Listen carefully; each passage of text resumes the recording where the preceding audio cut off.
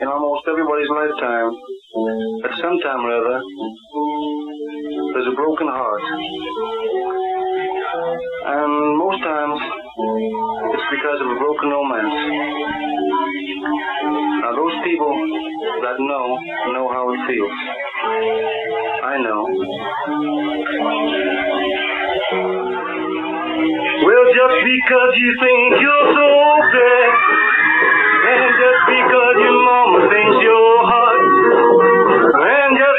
everything you got, something that nobody else has got. Mm, you call